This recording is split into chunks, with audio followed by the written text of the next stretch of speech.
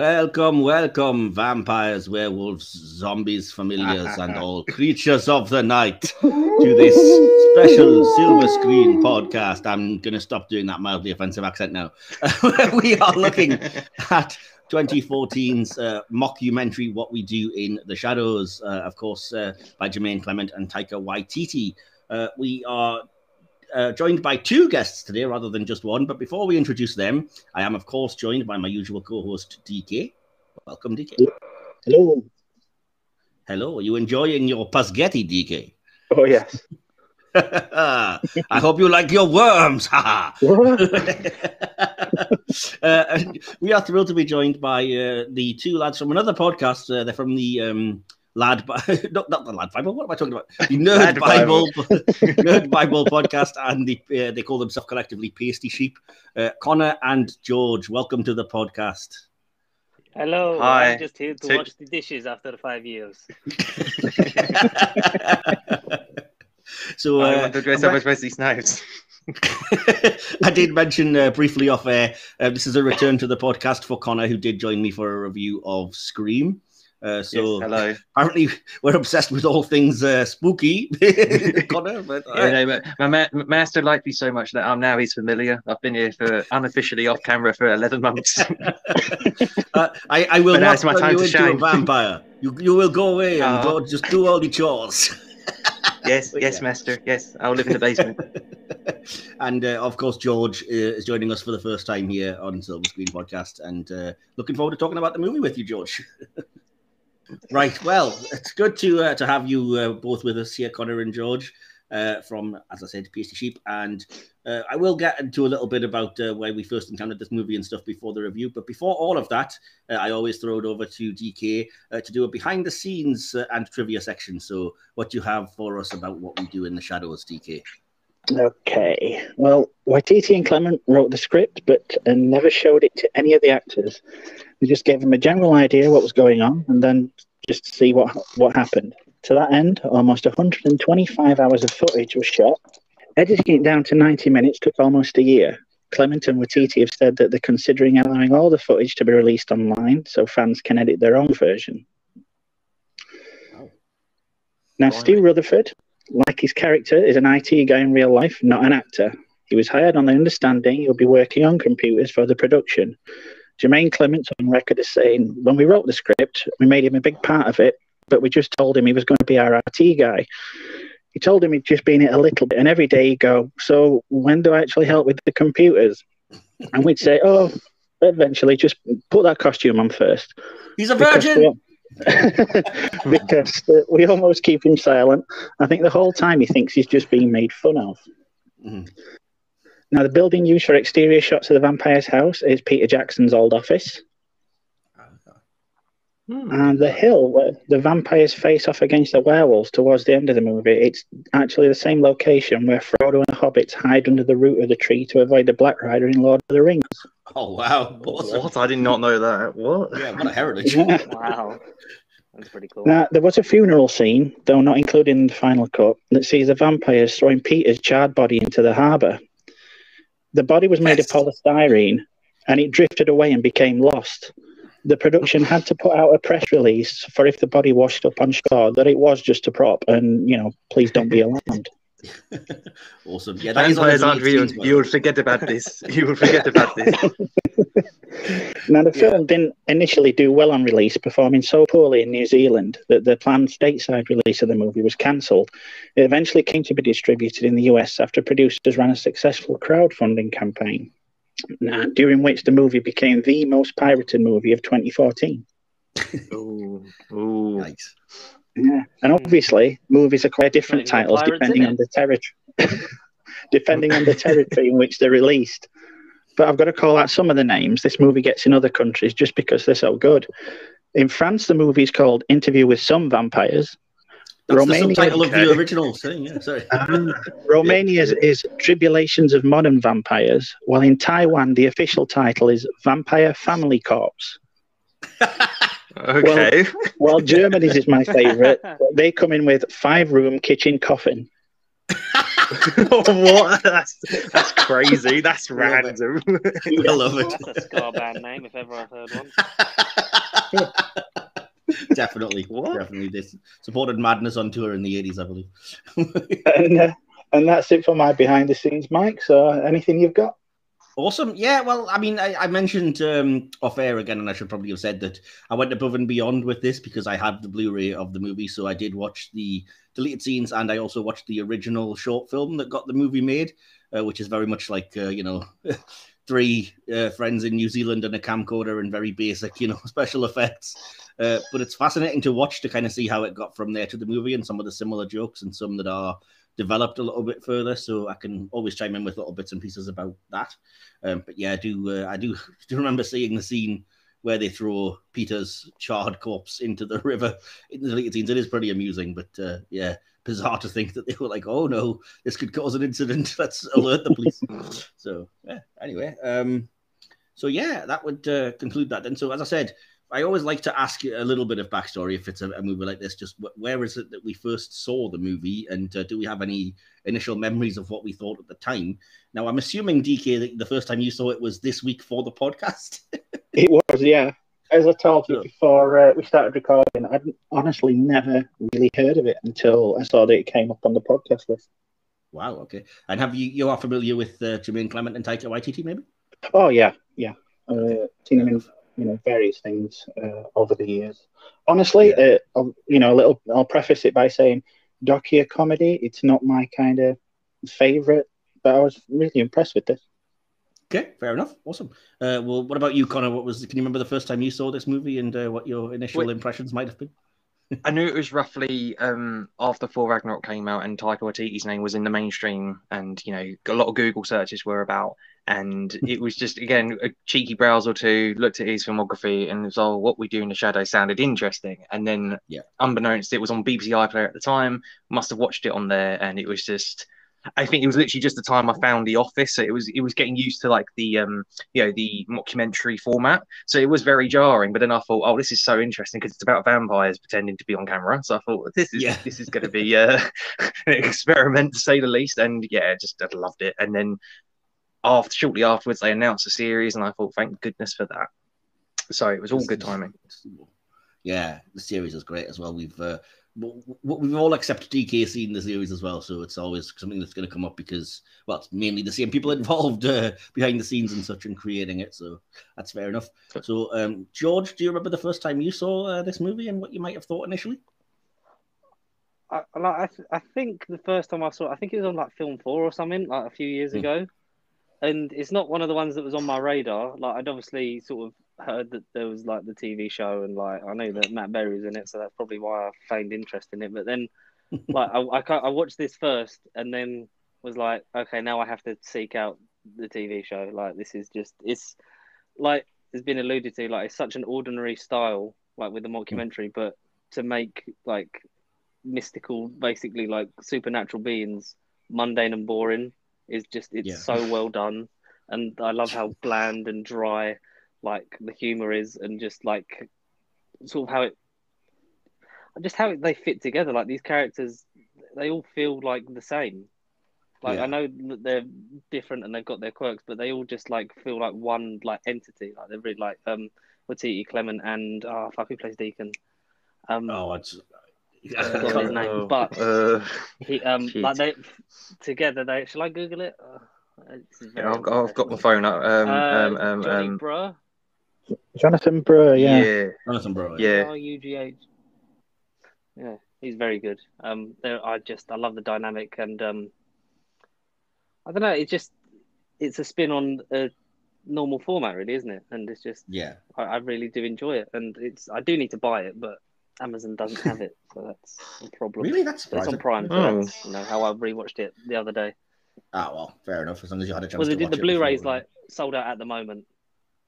Oh, okay. Yeah. Oh, well. But I did watch it again on Prime last night. Ah, nice. I don't, I don't really know what day it is anymore, lads. I won't lie.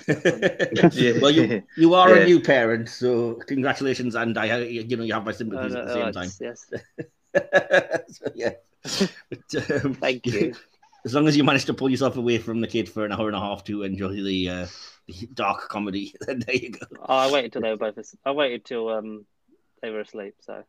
Ah, fair enough. Fair Yeah, enough. probably for the best. I'm, I'm sure I remember it. So let let let's see how accurate my remembrance of this is. Fair enough. Uh, yeah, my story is quite similar. Basically, I caught this this movie. Uh, I think it was also after I'd seen Thor Ragnarok and after I kind of knew who Waititi and Clement were. Never actually watched Flight of the Conchords or anything like that, but I know of it. Oh Um, no, and- no, no. Yeah. Uh, caught this movie, as I said, No, one never night. It was like 10 o'clock at night or something on BBC Two. Loved the movie. Uh, caught the series at a later time and think the series is even better than the movie. It's hilarious. Uh, but again, the series was created by Jemaine Clement, um, who created the movie along with Taika Waititi, and the two of them do serve as executive producers. And if anybody's interested, yes, these characters do turn up more than once in the series. Uh, Dun, dun, dun. it, Yeah. uh, it's definitely part of the same kind of shared universe, I guess you could say. And uh, it's always fun when you know Viago or Deacon or whatever appears. Um, so yeah, that's uh, that's kind of my backstory with it. And we uh, we we do the review now as uh, kind of a little bit scattershot. We just tend to break it down into categories and talk about things as they come along, rather than talk chronologically. Um, and with this one, I've kind of just personally broken down my notes into things like characters and then talking about each of the character stories and things. So bear with me, but feel free to go off on tangents or whatever if you like as well. Um, so under the category of acting, like I said, I started by Mhm. talking about some of the characters in the movie, and the first character I had to talk about was uh, Taika Waititi's character, uh, Viago. Um, and so before I get into any of my notes, what uh, are you guys? Do you have any thoughts on the character of Viago and uh, his plots throughout the movie? Um, I just mainly wrote down quotes, just random quotes in the runtime. So I haven't really got an order, I haven't got a structure. I literally just wrote down random lines that made me chuckle. Um, but Fair Viago, he he opens the movie, doesn't he? Taika is there at the very beginning. He opens it. He's 394 years old, something like that. Um, and he's essentially introducing us to the world of you know the, the house, which does look very similar to the one in the TV show. Um, Yeah. And he's you know I guess he's like the unofficial narrator. He is kind of like the audience's point of view character out of the, the trio initially. Yeah. Um, but uh, uh, uh, yeah, I don't know. I can't comment a minute about Waititi, but yeah, no, um, yeah, he was cool. He was cool as always. As always, he's great. Taika's amazing. Definitely. Well, in terms of like you said, he, he sets up the movie. So there's a couple of things which I think set the tone straight away. Um, the first one is when he's getting out of his coffin and it does the Nosferatu kind of rigid, straight up kind of special effect, which you've got to, yeah, it's just so bizarre to see just from this goofy guy, and it's like ah. Um, but then from there, there's a great bit of comedy where he's like, uh, "This is always the most difficult part," and he's like sheepishly opening the curtains as if to double check, and then goes, "Yes, we're safe. It's nighttime." You know? So- but uh, I love that, and I love that it kind of uh, it sets him up as the leader of the group, I guess, almost like the head of the household because he has to go around and wake everybody Yeah. up and, and stuff. So Yeah. um, yeah. What about you guys then, George and uh, and DK? Any thoughts on uh, Viago? He is my favourite character throughout the movie. I love the scene later on where he's trying to uh, seduce and bite that the student that's wanting to go travelling and accidentally hits the artery, and he's just like, I "Shit!" that scene. that scene is really good. Yeah. He's talking about how he kind of, you know, how he still feels things and everything, and then uh, just the the sheer comedy of the blood splurting absolutely everywhere is is quality. While she's talking, and he's just like putting the newspapers under her feet. exactly. Yeah. Oh, bless. I can't remember what it is that he says, but I know he has like a direct to camera after that where it's something like, well, that didn't go well. Yeah. There's Yeah, blood all yeah. over him. Yeah, that's fair. Um, did you have any initial thoughts on uh, Taika Waititi's character on Viago then? And uh, is he one of your favorites and one of your best? Um, I, th- I like Viago because he's kind of he's he's kind of the most sort of like basic interpretation of, out of the group. Like he's just like sort of stereotypical vampire in some ways in the aspects of his personality, but he's very sort of human in like the way he sort of like interacts with the camera and the crew Yeah. and um, the way he holds himself and stuff. So he's kind of like the entry point, and then you obviously like Vlad is you know just um a, a lot less subtle and Deacon as well, and then you've Yeah. got um Well, I did read that that Nick comes while Vlad well. is based on Gary Oldman, Mm. Yes. Waititi based Viago on his own mother.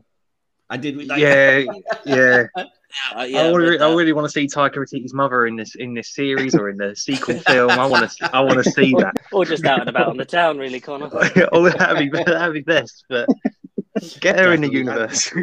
I think you can you can definitely see that because there's a certain like effeteness, I guess, to Viago that's very uh, very present, and uh, yeah, I think knowing that it's based on uh, Waititi's mom, it, it explains that a Hmm. little bit, and uh, he is kind of the fastidious one, and that's the joke, isn't it? That he's the one that's like, we need to have the chore wheel sorted, and we need to do the dishes. It's been five years. Yeah. it's the combination, as you said, of the mundane with the like supernatural, the extra normal Supernatural setting, yeah. yeah, which which just makes it so funny. And uh, again, th- there's probably just going to be a load of quotes that come up throughout this review. But one of my favorites, just apropos of nothing, when they're talking about it, and it's like, uh, "You got blood all over my nice couch, the red couch. Well, it's red now, yes." yeah, yeah, it's red now. Yeah. Or the way that gets paid off with the, you know, put put some newspapers down or get some towels or something. You know, we're not Yeah, yeah, yeah, yeah. And Yeah, you he could have put the newspaper So, down. you- university. yeah, exactly. Yeah, with the student, awesome. And uh, yeah, I like that he's kind of he seems kind of sweet to his victims. He doesn't seem like just vicious and brutal, but. Uh, he Right. also, he's also quite practical in that the whole kind of like, yes, sometimes we do take our clothes from the victims. You might be biting someone and be like, oh, those are some nice pants. yeah, yeah. There's a nice pants. Yeah, there's some nice Yeah. pants. Uh, it's also kind of sweet that he gets the love the love plot throughout the movie. That's his like through line is this woman Oh, that uh, Catherine, Catherine. yeah, Catherine.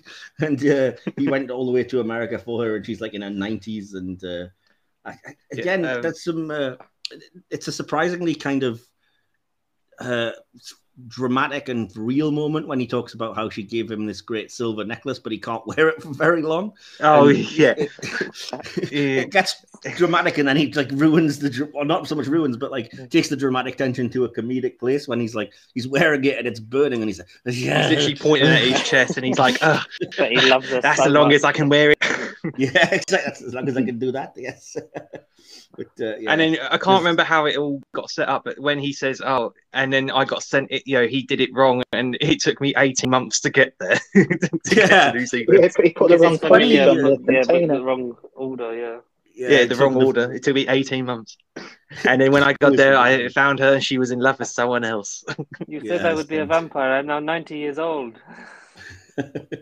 it's awesome and uh, related to that storyline this is a joke that uh, for whatever reason it didn't even register with me the first time i watched it but watching it back for this the fact that he takes like the picture he's printed out of this 96 year old woman to the coffin then you just see the coffin lid just banging up and down like he's he's clearly masturbating I want, I wonder what, yeah, I wonder what's going on in there. Yeah, that was so weird. Um, and then yeah, obviously they, they do kind of end up together, and you do get the joke about you know, oh, would, would people accept a 96 year old lady with a guy four times? Ah, the hell with it. The People can call it. me a cradle snatcher. I don't care. Yeah, exactly. yeah, yeah. But uh, yeah, there's also one thing that uh, Waititi does in character that is part of the original short, but it's done a lot better in the film for obvious reasons. Which is when he's talking about how they have no reflection in mirrors, and he's like, "Oh look, ghost cup." Ooh, Ooh.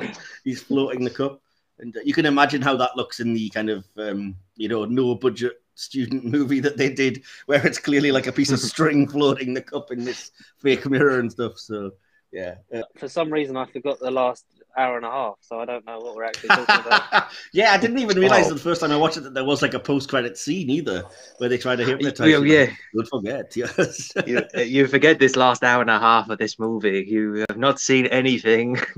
yeah. it's literally like But they're so bad at seconds it. You know, it's understandable it failed in most of our cases because they're terrible at that hypnosis thing. Mm. like when uh, Deacon's getting rid of Jackie, and she's like, "You know, you did say you're going to make me a vampire." He's like, "Go, go away." Go away. Speaking of Deacon, it's obvious that uh, yeah, he's set up as kind of the young bad go bad boy of the group. Um, yeah.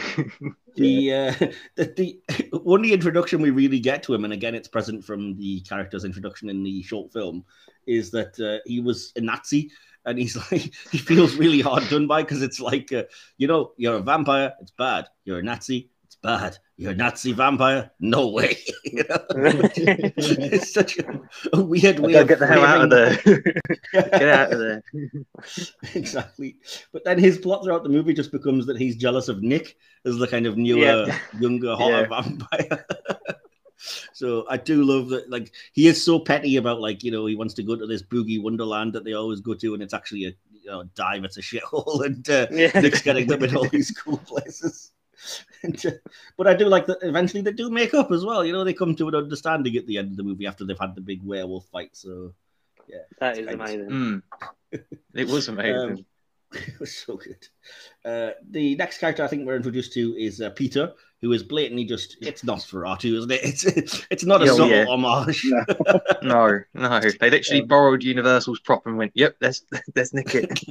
That'll do. With uh, it's quite surprising to see in this kind of movie though, because as you say, the, the vampire side of things, uh, the fact that they represent the old school like that. And I did read, I think it was a critics review or something that said that like Peter represents the old fashioned vampire movie that they are keeping locked in a basement and just paying lip service to who and stuff. And I'm like a little bit too deep. I think they're probably just making a gag to be perfectly honest. But you know, yeah. um, yeah, and I, I will have to say as well that I love the equivalent of that character that's played by Doug Jones in the TV show. 'cause he's Yeah, the, the, kind um, of- Oh yeah, yeah. the um, elder oh. Nosferatu vamp. Baron. Sorry, it's The the Baron. Baron. The fucking Yeah. Baron. I think a Grand Master, but it's the Baron. ah, the Baron. Yes, and it turns out it's not a title. It's because he can't have kids. He is Baron. yeah, he's Baron. Yeah. That's right. no, as I was saying in the movie, that I do like that they kind of did that kind of um, obvious joke about how, you know, because they're the older generation, they think it's all magical. And so I think it's Viago says, Oh, I had a locket or something that I lost years and years ago. You can find it. Yes, Google it. As if that's going to miraculously be like, Oh, yeah, there it is. Google it. That's awesome. Um, yeah, uh, what did you guys think of the character of Jackie then as the kind of only really human character, I guess, in this movie? she's um like obviously like you can say it now seeing the series like she's Guillermo light really Yeah. isn't she Yeah, yeah.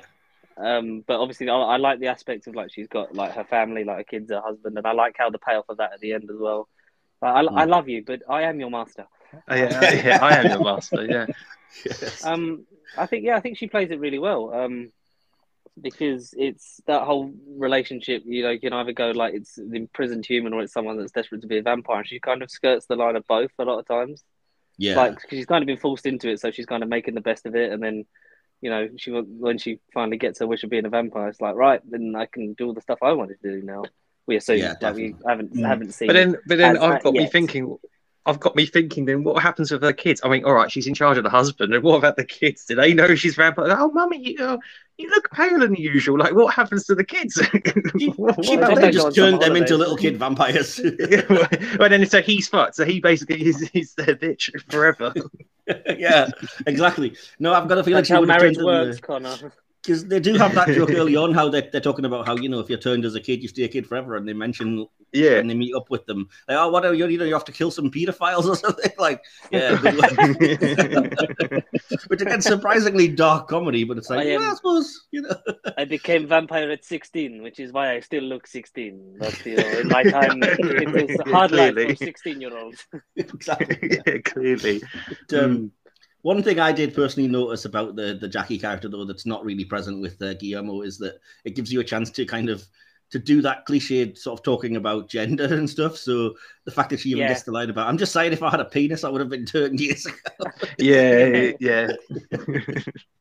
it's pretty Uh, awesome. this is a dick swinging contest.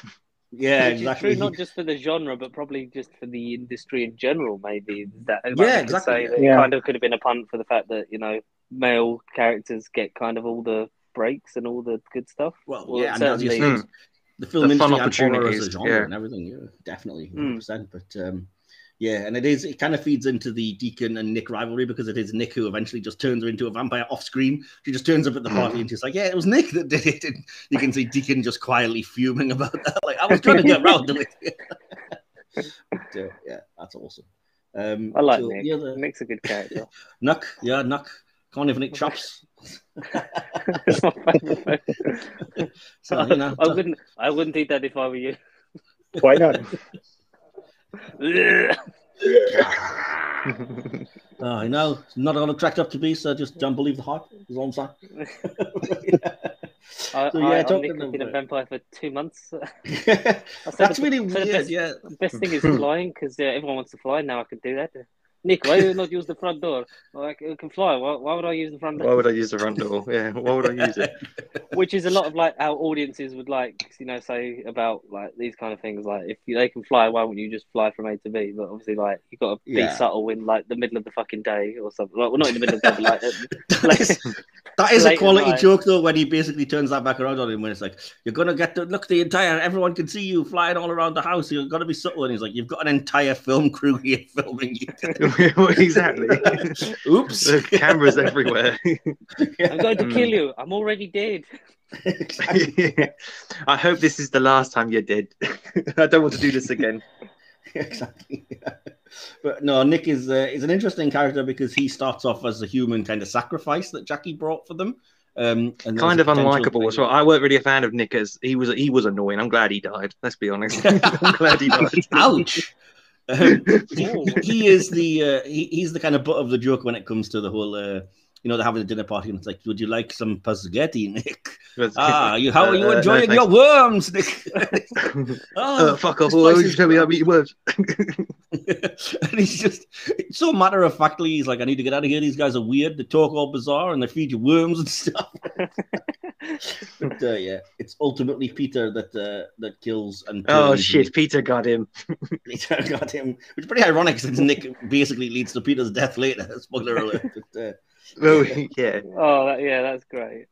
Yeah, and uh, as I- I've already mentioned, but it's kind of funny how they all kind of don't like Nick much, but they love Stu, his human friend. Yeah. Oh, yeah. immediately- like you mentioned already, DK, that he's like the, a friend of the, the guys that made the film, and he his naturalistic performances because he just kept getting told like, oh, it'll just be one, so you know, just a little bit here or there, and he is just a regular dude. And yeah, But I'm glad you said that because I generally thought it was he just meant to be a mute for like seventy percent of the film, and then as the, it goes on, he then speaks. But then, okay, now knowing that little detail, it does make it better knowing that he was just an extra and then the IT guy, and genuinely like, Yeah. when am I going to fix computers? it makes Yeah, it more funny. exactly. Because they're doing more and more with him, and it's like, no, no, just this one, Mm. just this next scene, Yeah, just, just hang on, hang on. more. Yeah. Yeah, So, hang on, yeah. hang on. And uh, I mean, to the point that, like, at the end when he's been clawed by the werewolf and turned and everything, at that point he's got to be like, "Yeah, I'm, I'm a pretty sizable part of this movie." you know? yeah, something's going on here. I've got a surprise for you. Stu! Stu. Yeah. I also, uh, yeah. So Stu gives you the chance to bring, like I said, this kind of comment about the modern age interacting with the vampires and the computers because it's already kind of funny how they're talking about how they just want to flat together and they don't want to be in a big castle or whatever else. And then you introduce like modern things and stuff. It's uh, it's pretty funny. It's also on, on a similar note. It's Nick that goes around telling everybody he's Twilight, which I thought was- yeah, main guy from Twilight. I'm, I'm the main guy from Twilight. I'm the main guy from Twilight. Yeah, like that's his vampire frame of reference, as you said. Like the others, they're all you know they're based on the Gary Oldman Dracula or Nosferatu, and he's like, Mm. no, my frame of reference is Twilight. How many Yeah. people have you told you were a vampire? Uh, no one. Uh, where'd that, where'd that go? Uh, oh, yeah. that- Uh, There's that great scene though when he is literally just telling everybody, and some people are just taking the piss, and there's the guy in the uh, shop or whatever where he's like, "Oh yeah, I can transform as well," and he's like, "Can you? Can you?" And then just turns his face truly terrified and just goes, yeah. and then just again I very like matter of factly, just like, "Don't don't lie, don't lie about being able to transform." Well, and like you say, when he's in the bar and he's like, and the guy, guy says, "I'm a vampire," and he's like, "Yeah, right, okay," and he's like, "No, I'm a vampire." He's like, "Oh, I fuck off," and he just runs away. I- uh, and then, as you said, the Oh, guy who fuck off. ultimately, uh, the guy who ultimately gets him in trouble because like, oh, that's so funny because I'm a vampire hunter. He's like, Haha, now you're fucking not. Now you're not. yeah, and it turns out he absolutely was, and he got Peter killed Mm. in the end, and then got killed himself, of course. But uh, yeah, So- but uh, yeah, and I do love that they actually Turn, have a turn his head round the other way. Yeah, exactly. See who it is. You can't just leave your mate Oh, lying there. Classic, classic, classic Burley type. Oh, Oh, there's so many to great yeah. lines in this. It really is. It's it's just I you know the care review where he probably is just going to be a series of quotes, but that's kind of that kind of movie. It's hilarious. So Oh, it Yeah, is. I It's such. definitely It's forgive such a fu- quotable movie. oh, 100 percent, yeah. But even It's ridiculous like the stuff room, like but not shit. yeah, oh yeah, yeah, that's a, yeah, the rumor not shit. Put that, on the poster. I was just going to say that's the kind of tagline I'd love to see on a poster. It's like the rum, but not shit. no, I do. As I say, I do like the fact that they even show the ridiculous, like fighting as bats and whatever, and uh, getting thrown against the the garage door. Um, which again they do a lot more with the whole bat thing in the TV show. Just which I, I kind of I miss that. I miss having Matt Berry scream "bat" as he transforms. Bat, yeah, exactly. Yeah, bat. If I don't like the cut of your jive, shit's gonna hit the wind. nice. Oh, you got now, now, my darling. Why the fuck would we walk home? That? I'm, I'm very aware that you've been quite quiet, DK. So I'm going to ask this next part to you. So, uh, uh, what did you get a bit of a shock when uh, Rhys Darby turned up and they did the whole kind of werewolf scene? what did you make of it?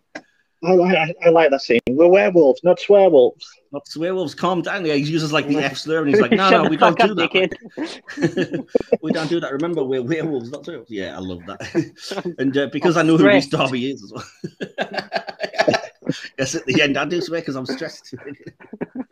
yeah. I'm the oh, alpha male. I can't yeah, believe Nigel Billingsley's in this movie. wow, exactly. Welcome to Jumanji mentioned it again to I think that was uh, it was maybe Conor or George I was chatting to you offline, but I did mention that as well as the TV sort of series spin-off based on this, there is a spin-off called Wellington Paranormal, which is just basically following the two police officers in this movie because they're so good yeah. in the way that they have the like intersection of their job with the bizarre and the weird, which is what their show is. It's like all the bizarre paranormal stuff in like Wellington, New Zealand. Um, but yeah, I have to talk about them because their their character names are just their names. Like they absolutely kill it in that scene when they're just they're seeing all this weird stuff and you don't know whether the I think it's uh it's Viago who's like, we don't know if this hypnosis is going to hold. We're just hoping for the best. And he's like, what's that? What's that up there? Pointing to the flying vampire. No smoke alarm. i know you guys are having fun, but uh, no smoke alarm. It's oh, okay. It's dangerous. Look at that. You've, got, you've got, an open flame right next to that there. That's well, dangerous. bad guys. Again, it's, the, the, it's the, It smells funny in here. What do you call that? Barbecue. Barbecue. Mm.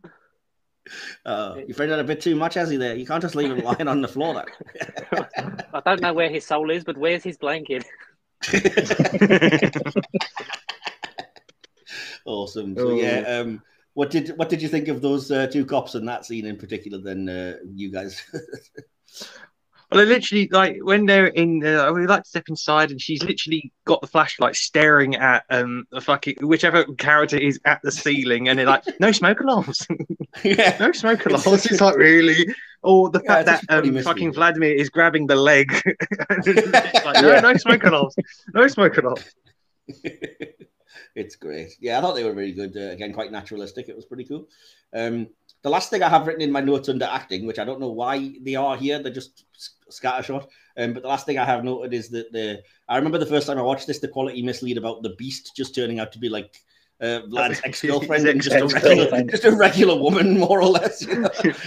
the, beast. No, the thing is, Asshole. the thing is, I, I I watched it today and I generally thought like I I remembered like eighty percent of the film, but when it came to the beast, I remember them talking about it. But I was like, who is this beast? I was thinking, is it going to be something stupid and supernatural? But when I found it it was just a regular woman that used to date, I was like, I mean, a oh, vampire okay. woman, but still just a woman who's like, yeah, just a woman. I was like, oh. yeah, broken his heart many times, and it's that old fashioned again cliche about like. Uh, you know, he, he has that one scene where his makeup and everything makes him look really haggard and terrible because he's like finds out that she's getting uh, like guest of honor or whatever when he thought it was going to be him, and he's so hurt by it. And then again at the end of the movie, in typical fashion, they're just back together again and just having weird vampire sex.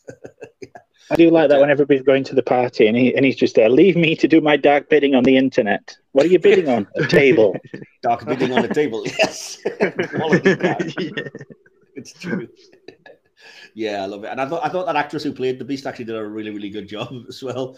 Because she doesn't turn up till the very end of the film and then she kind of has to sell this joke, I guess, the the punchline to the joke. And then as you say, she's kind of she's the one that calls out Stu as being a virgin and everything, and uh, talks about you know should this camera crew be here and everything. you can't eat Stu or the maybe one cameraman. But... yeah, maybe one cameraman, but yeah. Exactly, yeah. But, uh, yeah. So um, As I like say, zombie? we- No, he's kind of like a human. As I've mentioned, uh, t- talking about writing and stuff now, that um, we, we've more or less uh, pointed out that this obviously part of one of the main parts about this movie is that it has the the mockumentary uh, sort of fake documentary framework. Um, so, what did you guys make of that? Did you think it was an interesting kind of choice, or because again, that's that's how the short film sort of began? Was as I said, it was called Interviews with Some Vampires, and it was just like the mundane documentary talking to vampires. And yeah, what were your thoughts on that? I like it because it Well- subverts sort of the expectation, really, doesn't it? So, like, Yeah. um, I, I find it mainly in is it the fight between Nick and um, Deacon, like when it's sort of like on the ceiling and stuff. Like, it's it's such a weird angle, but because it's it's a person fit like it's meant to be a person filming it, not as in like it would be in a like blockbuster or whatever. Like you would be on the Mm. ceiling with them or like follow it around or do like a kind of Yeah. Inception style, like Yeah. the corridor would turn. Like it's so weird. yeah, like the framing, the framing's really weird in certain things, but it works for the style because it's say it, would- it would bringing be everything because down it, to a normal level. Yeah, I say it, say it would be like because like literally like you just said about the whole it's not a blockbuster and yeah they are literally vibing off of Inception and gone oh let's do a creative shot but because they know it's just one person with a camera they know they can't really do that so that's why it looked janky and off. Um, um, impressive. No, but- change of topic. Can we just talk about the werewolves? Oh, sorry, not swear wolves. I can't swear. the, the swearwolves.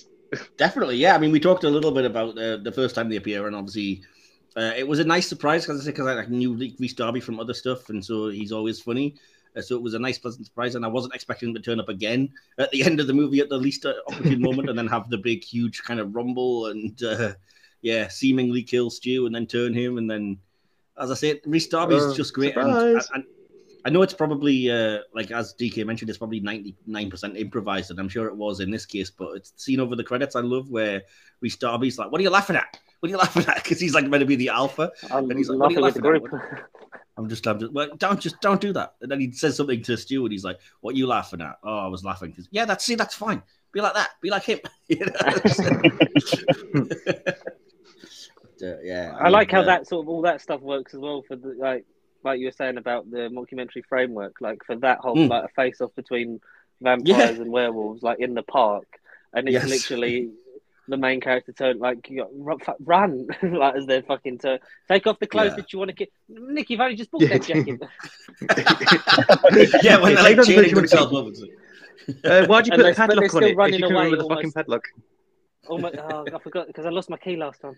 Uh, like, I like how like they're running away, but obviously almost like in the way of like a wildlife Hmm. documentary thing. Like they're still trying to film the like the animals themselves.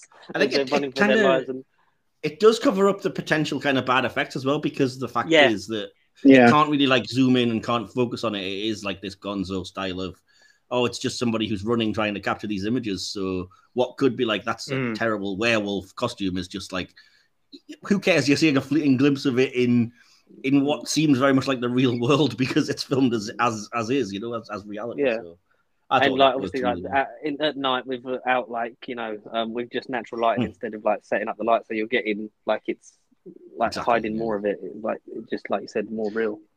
It's almost found footage based, literally Blair Witch Project inspired, and just you Yeah. know, it feels authentic. And it is literally us on our phone or our camera going, "Oh shit, there's people turning to fucking wheels. Run for your lives!" There's no Yeah, cuts exactly. or fancy editing. It's just, "Oh fuck, we're gonna get Yeah, eaten." Exactly. exactly. Yeah, definitely. Um, yeah, I think we've we've talked more or less about this, but I have got sort of noted under writing as well. Um, that it is what works really well is obviously we, we've said it's the mundane with the ridiculous, the bizarre and paranormal, and that's emphasized straight away with the whole like flat meeting. The fact that Peter's definitely not going to be there because he's like he never goes from the basement and he's two thousand years old or whatever. And yet they're, they're sitting there having this flat meeting and talking about chores, and then as you said, because it's filmed in documentary style, it is quite shocking and kind of weird when uh, they, they get into a fight and they just like fly at each other, basically. it's like, oh, what the heck?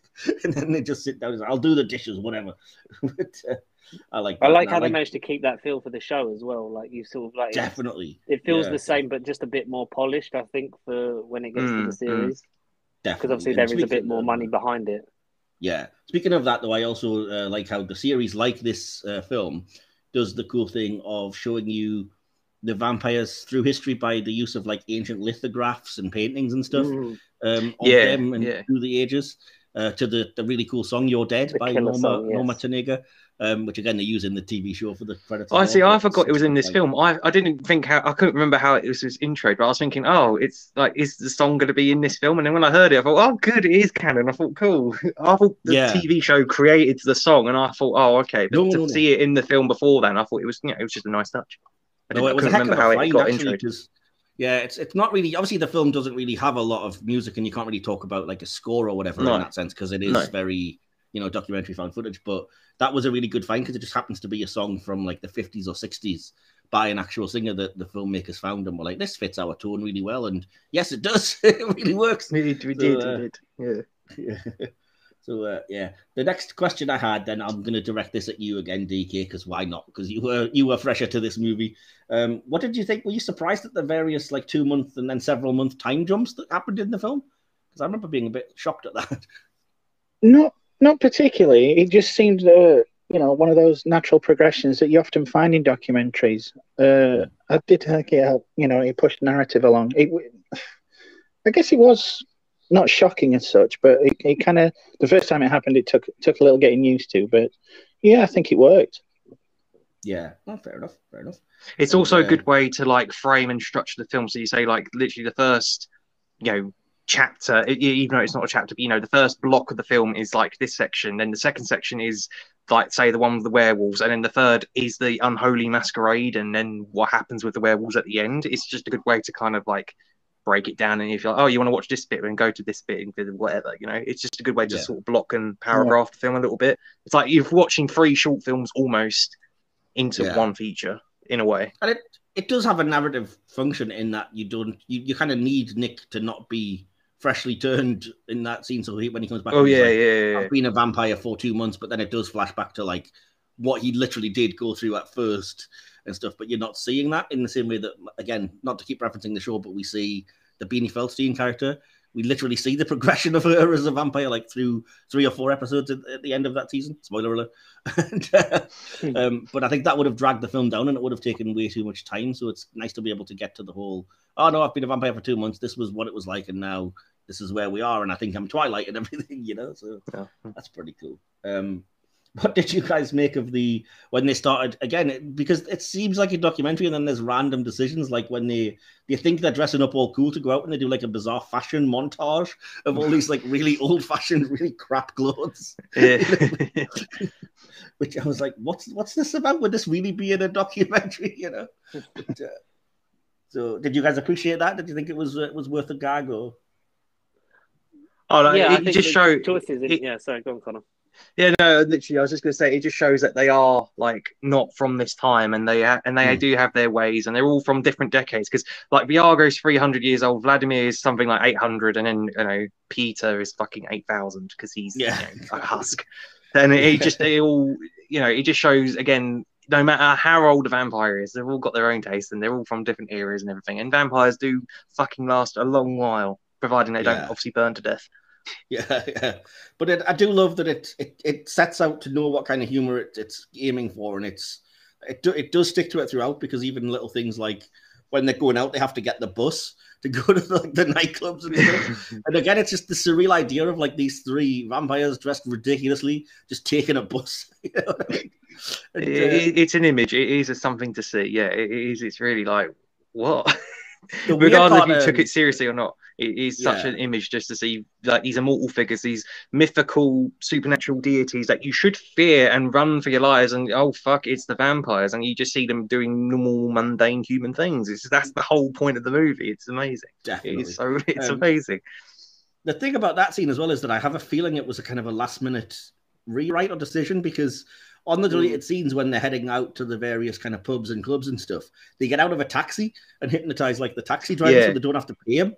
And I'm like, oh, it's so weird because I think it's funnier that they do the whole like, no, they're just gonna have to get on the bus and you know mingle with the people who are all just mocking them kind of thing. So that was an interesting Yeah. kind of uh, uh, you know turn around and uh, So uh, yeah, I have to kind of talk about this. One of my favorite scenes, which is the dinner party scene, when it's basically like Jackie getting chastised for bringing the the worst uh, possible people to her party, and they may not even be virgins. And this poor woman who Jackie's like, well, she, I thought she was a virgin. Would you sleep with her? And I think Yeah. it's uh, Oh, the deacon of lad that's like, yeah, I would. I like the uh, I like the one with Nick. He went, "Well, you were a virgin when, when I was seeing you. I was 12. Yeah. I was 12, yeah. exactly, yeah. Uh, but yeah, they do the whole, as I've referenced already, the whole Pasghetti becoming worms thing. Uh, they mention uh, quite lampshading the fact that that's stolen from the Lost Boys, which I like as well. That these vampires are so kind of like uncool that they're just stealing vampire things from films and TV, um, which you know feeds into later on when he's like, "You can't dress as Blade; he's a vampire hunter." But vampires love Wesley Snipes. But, uh, yeah, it's kind of cool how they uh, they bring the real world into that to give it that reality as well. And uh, in that same scene, in, in terms of like I was saying, sometimes the special effects don't necessarily hold up, and the, that's where the style uh, feeds in. How freaking terrifying was it when they mentioned that Vlad used to be able to shapeshift into various animals, but now he can't get the faces right? Mm. And there's just that split second scene of the cat with Vlad's face, which is one of the most disturbing things. The most horrifying image of the movie, yeah. Exactly. I was like, that but then, is like, but then, like you say, I love that they deleted don't linger on you, that for too long. Yeah, exactly. Oh, uh, like you say, there's I swear there's a deleted scene where it's Vlad like topless and you see a pair of eyes around his nipples. I think that is a deleted scene. It's just like why why on earth? What is that? Um, so other than that, I just have a few. I'll just maybe throw a few kind of. Uh, I said scenes, but then I've just written quotes basically. So I'll throw a few at you. And uh, this isn't so much a quote, but I do love the fact that they go with the whole vampire mythology of having to be invited in. So they're having such awkward times at the bars and stuff when they're like, "Invite us in, tell us to come in." And, uh, again, there's a quality deleted scene where they have to leave one of the bars because the bouncers just like. Uh, uh, do, you want, do you want to go in? No, you have to invite us. Are you inviting us in? No, I'm saying you can go in if you want to. You have to. You, you have to go and see. You have to go and see Janine there. Uh, is Yeah, Janine Jan- yeah. No, she will just take the money if you decide to go in. So is that an invitation? No, I'm just saying you can go in. Or like, Janine, hello. Us in. But uh, yeah, I kind of love that it plays on these vampire tropes and stuff to that funny of a level as well. And uh, like I said, the idea that the vampire kids would be off killing perverts was a fun twist on that as well. And uh, It almost kind of made them morally good and morally likable. It was like, oh, they are doing something decent in their spare time. yeah, I noticed that a lot in the movie because even when Viago does that comical like biting and then blood splurts everywhere, he seems like he genuinely Oh, is shit. like sad about it. Yeah. like he's trying to make it comfortable for the poor student woman, and in the end, he's like, "Yes, You well, know, because he says that. He, he- yeah, he's like, oh, I got to make them feel comfortable in their last moments. Yeah, Oh, exactly. So yeah, it, does, it doesn't necessarily portray them as like monstrous or whatever. And even Viago has No. that talking head where he's like, you know, people say we have cold, dead hearts. Well, it's definitely dead, but I don't think it's all that cold. I think we can still feel, you know. So it's an interesting angle to take. Hmm. I definitely feel something. Yeah, he's like, yeah, Yeah. definitely feel something. Yeah. the thing I've written down here, and I have no idea what this is. This is one of those really weird, surreal things where it probably came from like a really tired, like um just batting stuff about random improv improv session. But it's like they're talking about like things that could happen to you, like oh, life is so fragile, you could do such and such, and it's like you could make a mask out of Yes. and get savaged by a duck. I was like, what the frick Oh, does that have to do with Lost anything? Like, where did Or that just die of old age. exactly. But, uh, yeah, Even old fair enough. age is cruel. That's awesome. So I'm just going to throw it open then because that's more or less as much as I had until we get to like favorite character moment and conclusions and such. So did you guys have anything that you wanted to talk about with uh, with regards to the movie or favorite moments, etc.? I like the um, whole thing about we drink um, virgin blood because it sounds cool. Yeah, because there's me thinking it was actually a it like plot this. he's like, I oh, mean, you're cool. going to eat a sandwich. Would you just enjoy it more if you know no one had fucked it? uh, Yeah, Yeah, that's probably we quote uh, of the movie. That's probably quote of the movie. That one. that is my Yeah. favorite line, which I'll get to when we get to that section. It's but yeah, that mine. was my favorite, uh, my favorite line for sure. Apart from that, I really like the um the trial of Nick, like when they're like, you know, uh, first thing, First crime, he bought a human, but we, we like Stu, so we'll cross that one out. Yeah. um, he says something, and then he's like, uh, should be the "That was pretty. That was pretty minor, but I was thought we would just build up." Yeah. We get it, Bill, yeah, because it's like, uh, and then he bought like uh, Vampire Hunter was like number two, and then like thirdly, like uh, uh, Killing of Peter. Well, that really should be crime number one, but we're kind of building up. yeah, exactly. and, um, now start the procession of shame. shame, shame, shame. Great. Yeah, as I've, I've already mentioned it, but my funniest part of that is just the fact that they still like Stu, and they're like, "Nick, you are exiled. You're never to come back." But Stu, if you want to come round, anytime. If you want to bunk, if you want to bunk in, and, and of course him say, "Man, a few words." He just kind of like he shrugs and he's like, "Hmm." and, and Nick's then just there like, looking for Stu, come on, pen. you coming, mate? You come, come on. Yeah, it's really good. Um, so, do you want to get into favorite character moment and line? Then we may as well. Um, so I will hit up all of us individually, starting with you, DK, and ask for who's your favorite character and why in the movie. Uh, I think it has to be Viago. He's just so affable. Yeah, fair enough. mm, And uh, yeah, the, the film's kind of co-writer, creator, director as well, which helps. But uh, yeah, Yeah, I mean, very Red gets the best lines, but I think Viago's a more, I don't know, more in tune Mm. with the audience kind of character. He's more of a lead. What are some of your favorite Vlad lines? If there's any we haven't mentioned, by the way, then if you think he I do love the, I do love the one outside where he's banging, where he's, he's like saying to the guy, "See me, see me," and then sort of rapping on the window to get his attention. yeah. Do you want to come in? No. It goes on for like a good thirty seconds. Do You think to, you think the point it ain't gonna work, and then he eventually does go over to the window. I think that's what makes it work. Such a long, dragged out scene. Yeah, definitely. Awesome. Awesome. Uh, so, what about you then, uh, Conor? We'll come to you next. Who's your favorite character and why in the movie? Um, I kind of like them all, but I think the one I go to is Vladimir. um, right? But Vlad the Poker. Vlad the Volga. I'll go for a look which I call dead but delicious. That's so good. that yeah. one. yeah. I We go haven't it, really which is dead and talked, uh, haven't really talked about that joke either. That the kind of because he's based on Dracula, who's famously Vlad the Impaler. They make the joke about he's Hmm. known as Vlad the Poker because he used to poke all of his enemies. And then when he's like, uh, you know, the shit's hit the fan later on, and he's all depressed, and it's just showing you each of the vampires doing their own thing in their room, and there's just a naked person hung up with him like poking a poker into them. just completely matter of fact, it's just there in the background, and then he just closes the door. Like, yeah, I appreciate. I like the fact where he's where they're on Facebook and he said, "And you can poke her." Oh, oh, yes, I did. That's a good point. he yeah, was an 18th century dandy, so he can be very fussy. That. exactly. So, George, what about you? Who was your favorite character and why? in the movie? Um, I like kind of said like I like them all, but I really do like Vlad. I think Jemaine Clement plays him really well. I like the whole um the bit at the beginning where they talk about like oh like he's from medieval times, so like um, some of his views are a bit about we should get some slaves. yes, yeah. And when he fucking he um so when Vlad um shoots um, Viago with an bow and arrow in the leg. Oh, yeah, yeah. I was going to mention that at the beginning. Yeah, Oh, I love that bit. yeah, because what you mentioned about um, someone uh, was it Viago getting hurt, and then I wanted to interject with fucking Vlad shooting Viago with the bow and arrow. Ow. but I do also Oh. like um, what's uh, what's his name? Um, main werewolf uh, Anton. I like him as well. Oh The yeah, whole, um, like, I just I get I get stressed. yeah. Yeah, Darby is great in a very go, mixed "Oh, film." He is really good, and um, the way that sort of is um.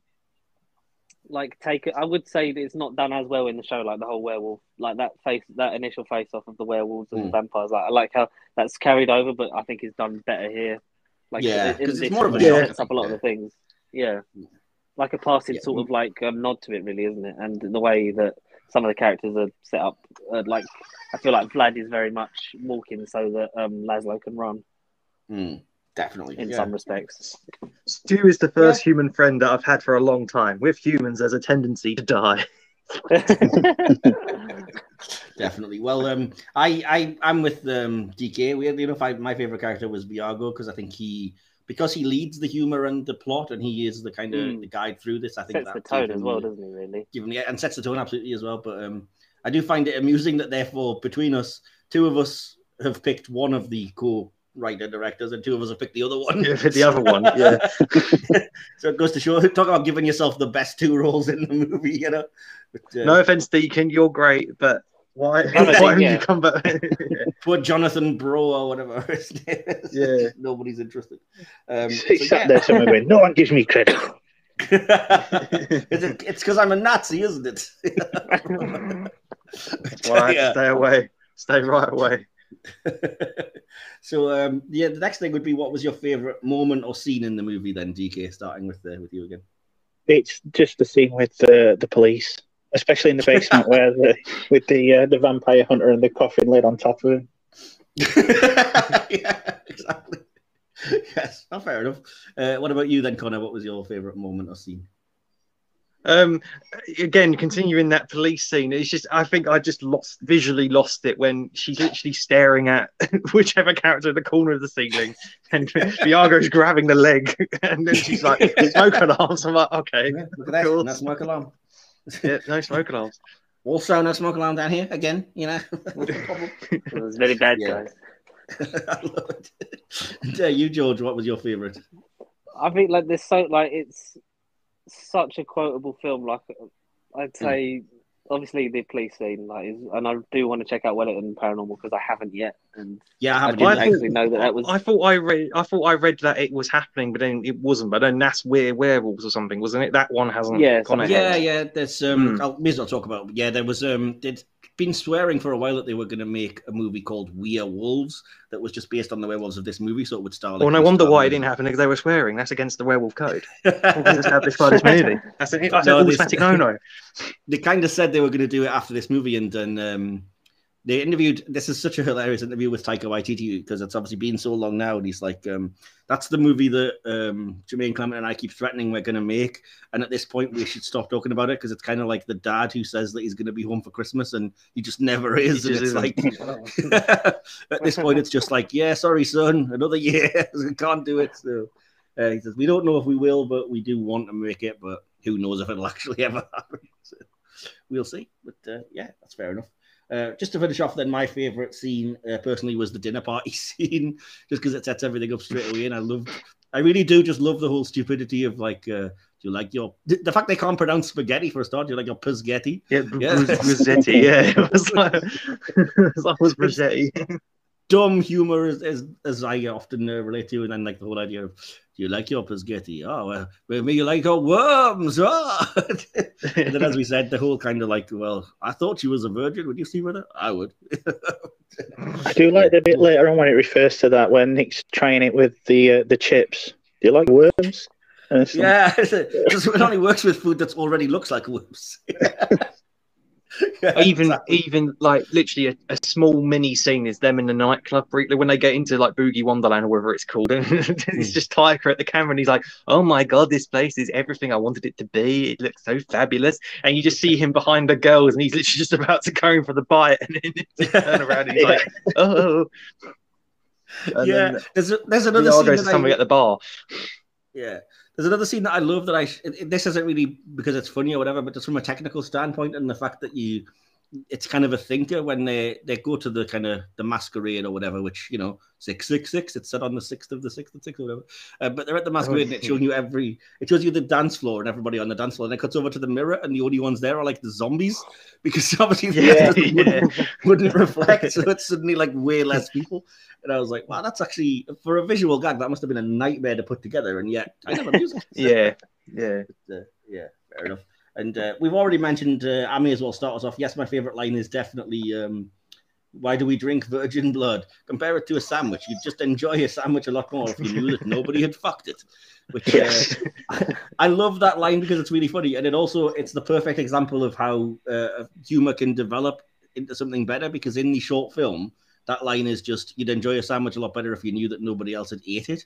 And I was like, oh, that's Oh, not okay. anything Oh. nearly as funny. And they clearly found the like if you knew nobody had fucked it before the movie, and I was like, see, they, they crushed it with that one. So No, Yeah. so like you, Mike, I watched the Blu-ray, but I watched the "What We Do in Transylvania" thing instead. I didn't get to Oh, watch right. the um the short that the the, Yeah. the original short. But the Transylvania is Yeah. literally just a companion piece. It doesn't really it, that wasn't set before this or anything. There's nothing like behind the scenes on that. Is that's just another little Right. random short film. I believe. That's fair. enough. I I didn't watch that one, but I do want to kind of get around to it because I watched the deleted scenes and then the short. Excuse me. and that was it because at that point it was getting late on my uh, viewing night. So I was like, oh, well, that's probably plenty. We'll go to bed now. and then I did not go and masturbate into a coffin. But no. so, Even so- if you die.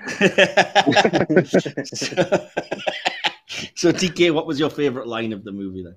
You've already said it. The sandwich. Oh, it was, wasn't it? The sandwich. Yeah. line. it's just the way the way he delivered it as well. It was just really well done. Yeah, definitely. Uh, Conor and George, is it the same line or do you have uh, different ones? I was going to go for the sandwich, but um, I think Everyone on was. the, on, on, on the deacon dishes line, like I'm so embarrassed when people come over. What does it matter? You bring them over, you kill them. Vampires don't do dishes. exactly. Fair enough. Yeah, because of the whole yeah ridiculous and uh, with the Mundane, mundane, so it but works. fucking, Absolutely. it's great. It's so well delivered. and yeah, that would have been my second choice on a similar note. Is that uh, you can't have you know just be flying around the house so people will notice. You've got an entire camera crew here. You know? just so dumb. But uh, what about you, Conor? I know it's just another Vlad. You know, I'll go for dead but delicious look. yeah, absolutely. He's so egotistical. You gotta love it. But uh, awesome. Uh, so then, did you want to get with? Uh, did did you guys all write a little conclusion and your score out of five, or um, no, no, no. I literally no. just put quotes I- down. Yeah. fair enough? Um, I just put random quotes. well, did you want to just give us a quick sort of summary of what you thought of the movie, and then give us your score out of five, then, and then myself and DK have probably got conclusions that may be way too long. so, Yeah. um, we'll start with you, George. Why not give us your uh, quick uh, final thoughts, opinion, and then a score out of five? Um, final thoughts and opinion. I would say it's a very, it's low budget, but it uses everything to its advantage. It's so like the script is so tight and well written, and the directing and the like the framing device all works in its favor to really sort of enhance it, and it just it works so well as a as a character piece. Really, Yeah, like it's not really there's not many set set pieces if you can call them that kind of thing. Like in this, it's just like you know the, the werewolf thing like kind of is maybe but um it's just a story about these characters and it's so well done and i really enjoy it i'd probably give it a four out of five awesome, awesome. Uh, what about you, Conor? It, again, it's just my introduction to the mockumentary format. It's just uh, the supernatural concept being brought down to such a mundane, generic human level that just makes it such an appealing. Like even if people wouldn't watch this sort of format or comedy, and just they're just like, "Why on earth would I want to watch this?" Just, just give it a go. Just watch it and just be amazed at how good acting can really be in such a smoke like low budget small small scale film that doesn't connect to anything all right the show came out afterwards but back then when we they made this film they didn't know they were going to have any more installments um um, um, um, um, but no, like George, I'd give it a four out of five. I do think, like we keep saying, the show just did this film, but better overall on the Yeah. scale. And like the show just doesn't want to end nowadays. So it's just the show literally is bigger, badder, better, as all sequels should be. Um, but no, four out of five, just very much the closest to a perfect film as there is. But it's a good introduction piece, I think. Definitely, yeah, as franchise launcher, definitely. Um, well, Mm. before I go on to myself and DK's thoughts, then it just occurred to me that uh, we uh, probably should have done audience interaction uh, first. So we'll split our kind of opinions halfway through there, uh, and we'll go to the audience. to the electronic mail yes, we, we put uh, the information on the Google machine, and but uh, yeah, no, we asked um, around various Twitter and Discord groups and things for audience uh, opinions on the movie. Uh, DK, did you want to give yours first? I thought you said you had uh, maybe two or three. Yeah, I uh, I asked the guys in the Screen Talk on Facebook group what they thought. Dave Trower, the admin, he says it wasn't as funny as I'd hoped, but I enjoyed it for the most part. The well, the werewolves were my favourite. Uh, Justin Williams from the group said, "I loved the movie and I love the TV series even more." And Chris Beaver said, "I really love it. It's pretty much perfect in my eyes." I'll go through my, my stuff then. So, uh, as I often do, if I remember, I did put out a poll. Didn't get a massive response, but we have got some. Uh, so I just said, "What would you rate What We Do in the Shadows, the movie, out of four bats?" so, uh, one bat, bat. Uh, the one bat, it sucks. Haha. Score uh, got zero percent. Uh, two bats below average got thirteen percent. Uh, three bats Mm. decent got twenty five percent. Uh, but again, the runaway winner was four bats excellent with 63% of the vote. Uh, and just in terms of some individual things, Um, on Twitter, the girl who waited says, I saw it recently with my husband. It was good, better than I thought it would be. So, uh, fair enough. At Greg Amos13 said, I found it a, a delightful change from all the stereotypical monster films. Every character had actual character, which is why I think it translated so well to the TV version. Uh, that's fair enough. Over on Facebook, my cousin Maddie O'Neill just said, This is a great movie. Uh, back on Twitter, Kimberly Correct. Chapman uh, said, I absolutely adore the movie, but I found the TV show very meh and gave up on it after a while. Uh, the movie is utterly delightful. I know it's Whoa. weird. utterly delightful. It's been a few years since I watched it, but it's frequently on iPlayer, so I should probably rewatch at some point. Um, also on Facebook, my friend Jane Marley said, um, I've not seen it, but I'll take a look as I like Taika Waititi's stuff. Uh, she then said, found it on Amazon Prime. That's tonight's viewing sorted. Someone at work has told me about it previously when telling me about the series. So it's a timely podcast from you. I didn't know it was Ta- Taika Waititi, though, so that's now moved it up the viewing order. So we'll see what she thinks when she's watched it. Uh, and I believe the other things are all from the uh, Discord group that I'm a part of. Uh, a charming little lad says that movie slaps dog. Gum Cuzzler, what a name, uh, says great movie. We're werewolves, not swearwolves. Uh, Mystery Angel says it's a 10 out of 10. Even the show is great. And the other things I have are all from uh, Letterboxd, actually. So uh, my friend Ratson King says, What We Do in the Shadows is a very funny movie, but it's not going to be on my all time favorite comedies list. Not because it wasn't funny, but just because vampires don't really interest me unless they're gorgeous, naked lady vampires from outer space. but that doesn't mean that it's not an insanely clever and funny movie because it is, and you should definitely watch it. Also, Stu is just the best 8.2 out of 10. Uh, my friend Alex Marzonia simply says exhaustingly hilarious and gives it four stars. Uh, and Lordly Kicker says, I was surprised to see this movie didn't suck. Stealing my joke there, and gives it three and a half stars out of five. So uh, that was all the feedback I had. So, uh, DK, do you want me to go first with my conclusion and score, or would you rather go? Oh, I'll go first. I'll get it out of the way. Fair enough. Go for it. All right. I was I was reticent when it came to what we do in the shadows, as the genre has never really appealed to me as such. After being very heavily exposed to The Office a few years ago, but I was pleasantly surprised by this. It's quite an understated hour and a half, but it's got some really funny moments. There's enough good situational comedy in there, even for those not particularly film- familiar with vampire tropes, to carry it along so it never feels like a chore. I often think comedy of this genre works better in smaller chunks, but nevertheless, I found it harmless, enjoyable, and while I don't think it'll ever be a personal favourite, it sold me on the premise enough for me to want to try both the series of the same name and the Wellington Paranormal series. And I won't be opposed to watching this again, maybe to pick up on what I uh, missed the first time around. And I'm going to give it 3.5 out of 5. Okay, fair enough. Awesome.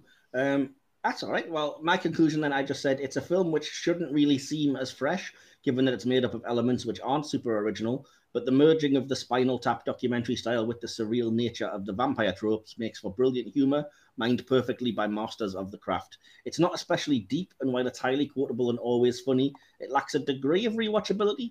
But you can see why it launched a successful Mm. franchise, cleverer than it appears, joyfully amusing with lots of cool ideas, acting and writing. Definitely worth sinking your teeth into. Uh, and I also give it four out of five. Thank you for applauding my terrible well pun, done. Well that. Puns absolutely intended. Bangs all round. Absolutely. Yeah. So um, bear with me while I bear with me while I try to work out the average for the podcast. Then. So uh, yeah. Okay. Um, fair enough. So that comes to let's say 15 and a half divided by four of us. Uh, so yeah, the average for the podcast then the final score would be 3.8 out of 5 for what we do in the Mhm. shadows. Hmm. So not bad. DK dragging the average down, I think a little there, but uh, yeah, not, not a bad score at all. 3.8 out of 5. So yeah, awesome. Uh, yeah, speaking of Taika Waititi, I have just watched uh, Lightyear, which has him in a voice acting role. Uh, and you can catch our review of Toy Story 2 talking about that um, on the channel from I Best think, Toy Story a couple film. Of weeks ago. uh, you can Oh, also you'd like wait it, a- definitely. you can also wait a week and you can catch our review of Taika Waititi's film Thor Ragnarok, which we will be talking about um, in time uh, because shit. because, uh, in timely fashion, Taika Waititi will be bringing out Thor: Love and Thunder at the same time that we review that, so that'll be handy. So I'm going to ask everyone if you have any uh, details that you wanted to sign off with, uh, where people can find you. Uh, starting with you guys, uh, George, where can people find you? You can find us, um, Pasty Sheep, across Facebook, Twitter, and Instagram, and the YouTube, which is where um, we mostly preside, mainly because um, I haven't really got my arse into gear, but I, have I've had some changes in my life, so I'm kind of trying Yes. to piece my life back together. So um, Definitely. And, we uh, will try and congrats again more on the new arrival. So yeah. Oh, thank you, mate. Awesome. Um, and we will have people like we've had. Um, we had Michael on to talk about Morbius, and um, we probably won't put him through such torturous um, circumstances next time he's on. Morbin time. There will be no more Morbin time. Yeah, Tim's We'll- all, we'll all make- I ever do is talk about vampires with you guys. no, it's a theme. It's a theme. That's true. That's very true. Um, we'll have to try and get you on to talk about something that um, Better. Yeah, Le- better, less yeah, supernaturally. Less supernaturally. um, well, if you're you struggling with when this that Marvel handle- finishes, I'll come and talk about that if you want. So yeah, why not? And um, we um, you can email if you want to get involved in the podcast, like a similar audience interaction, but um, we don't really have any of it. It's a barren wasteland. It's barren, like the barren. oh, Um, like Baron. Um, Conor, you do Fair you enough. can say the email because you Yeah. like doing the electronic mail. Yeah. So again, this is the electronic mail at the Nerd Bible contact. Nerd Bible contact at the gmail.com. at, at gmail.com. Google mail people. Nerd Bible contact at gmail.com. Or write it down on some creepy paper. oh, creepy paper. Master, it's crap. Drugs So, the uh, of some and- people, but the people were on drugs, and now I'm a wizard. Drug blood. Do we have anywhere that people can find you personally, Conor? Um, no, not really. No, Right Bible here, contact in this gmail.com, pasty sheep. Um, pasty Change- con, change which I made for this specifically for this recording, but I didn't have to use it in the end. Oh well, fair enough. And, pasty uh, underscore pasty underscore underscore con. That's sounds Ironically, weird. you did but have a we'll, Twitter name that you like didn't use. So like Conor doesn't really Yeah. do social media unless it's like Instagram. So Well, fair maybe enough. follow him on that. He's always on the YouTubes anyway, weekly with uh, with George, so that's fair enough. And uh, DK, did you want to shout out anything uh, for the peeps? No, nothing really. I could just be found here, just hanging around. Chained to the Yeah. desk. Yeah. Just con- contracted.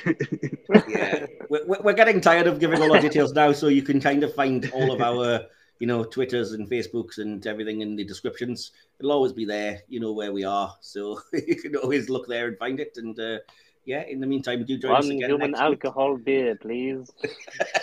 You, can join, you can join myself and DK with uh, a special returning guest Toby next week reviewing Thor Ragnarok. And uh, yes, in the meantime, uh, I'm going to let Conor and George sign us off. Well, hopefully we get. Hopefully we can get you both um, on the podcast soon. But I will sign off with the wise words that he's mad as a wax banana. Thanks a lot, guys. It's been awesome having you on. Take care. Bye bye. Wiedersehen. In the epic words of Arnie, I'll be back.